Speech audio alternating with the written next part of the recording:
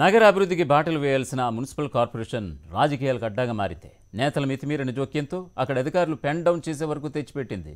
ఏకంగా ముఖ్యమంత్రి సమీక్ష చేసే స్థాయికి వెళ్ళిపోయింది. ఆ మున్సిపల్ కార్పొరేషన్ ఏది? ఎందుకంత అస్తవ్యస్తంగా మారింది? వాచ్ ది స్టోరీ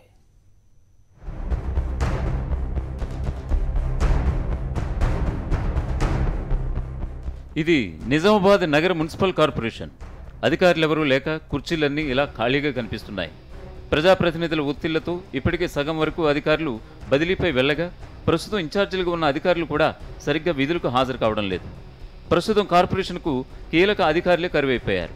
డీఈకే అదనపు బాధ్యతలను అప్పచెప్పారు ఉద్యోగుల్ని మున్సిపల్ ఉద్యోగుల్ని పనిచేయించడానికి పని చేయడానికి ఇక్కడ స్థితిగతులు లేవు.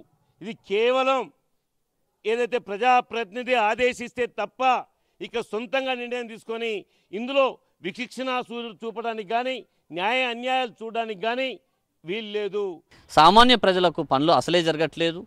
ఇది అంటే ముఖ్యంగా రియల్టర్లు కావచ్చు లేదా లేదా పెద్ద పెద్ద వ్యాపారవేత్తల పనులు మాత్రం క్షణాలలో జరుగుతూ ఉన్నాయి. మిగతా వాళ్ళే జరగట్లేదు. సిన్సియర్గా విధులు నిర్వహించే పరిస్థితి లేకుండా పోయింది. అధికార పార్టీకి సంబంధించిన నాయకులు దౌర్జన్యం చేస్తూ ఉన్నారు దాడులు చేసే పరిస్థితి ఉన్నది. నిజామాబాద్ మున్సిపల్ కార్పొరేషన్లో రెగ్యులర్ అధికారులు లేకపోవడానికి రెండు ప్రధాన కారణాలు. ఒకటి సిబ్బంది సరైన సంఖ్యలో లేకపోవడం ఒక శాపమైతే ఇక్కడ ప్రజాప్రతినిధుల మితిమీరిన జోక్యం వల్ల ఏ అధికారి పనిచేయడానికి ముందుకు రాకపోవడం మరో శాపం. కోట్లాది రూపాయల నిధులు కార్పొరేషన్కు వస్తున్నా అధికారులు లేకపోవడం వల్ల ప్రజా సమస్యలు పరిష్కారం కావడం లేదు. మున్సిపల్లు ఈఈగా ఉంటూ ఎంఈగా ఇన్ఛార్జ్ హోదాలో పనిచేస్తున్న అధికారిపై ఇటీవల దాడి జరగడంతో ఆయన లాంగ్ లీవ్లో వెళ్ళిపోయారు. దాడి చేసిన వారిపై చర్యలు తీసుకోకపోవడంతో ఇక్కడి అధికారులు అభద్రతాభావం ఏర్పడింది. మున్సిపల్ కార్పొరేషన్ ఇన్ఛార్జ్ కమిషనర్గా ఉన్న అదనపు కలెక్టర్ వ్యక్తిగత సెలవులో వెళ్ళిపోయారు. మున్సిపల్ ఈఈ లేకపోవడంతో డీఈకి ఆ బాధ్యతను అప్పచెప్పారు. ప్రస్తుతం కార్పొరేషన్ పరిధిలో రెగ్యులర్ పోస్టులు ఏ అధికారి లేరు.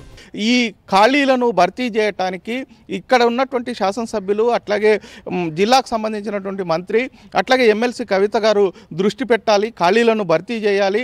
ఉన్నటువంటి ఉద్యోగస్తులు స్వేచ్ఛగా పనిచేసుకోవటానికి అవకాశాలు కల్పించాలా ఈ రాజకీయ వేధింపులను మానుకోవాలా అనేటువంటిది మేము కోరుతా ఉన్నాం. నిజామాబాద్ కార్పొరేషన్లు అభివృద్ధి పనులు చేపట్టడం నుంచి ఇళ్ళ నిర్మాణం వరకు స్థానిక సంస్థల ప్రజాప్రతినిధుల ప్రమేయం లేకుండా ఏదీ జరగడం లేదన్నది ఇప్పుడు బహిరంగ రహస్యం. కొన్ని డివిజన్ల పరిధిలో ప్రతి పనికి ఎంత రేటు అని నిర్ణయించి వసూలు చేస్తున్నారని ఉద్యోగ నియామకాల్లోనూ మితిమీరిన జోక్యం చేసుకుంటున్నారన్న ఆరోపణలు ప్రజా సంఘాలు స్థానికుల నుంచి వ్యక్తమవుతున్నాయి. ఈ క్రమంలో CM KCR Nizamabad municipal corporation వ్యవహారాలు నగర అభివృద్ధిపై ప్రత్యేక దృష్టి సారించడంతో ఇకనైనా పరిస్థితుల్లో మార్పు ఉంటుందేమోనన్న ఆశాభావం వ్యక్తమవుతోంది.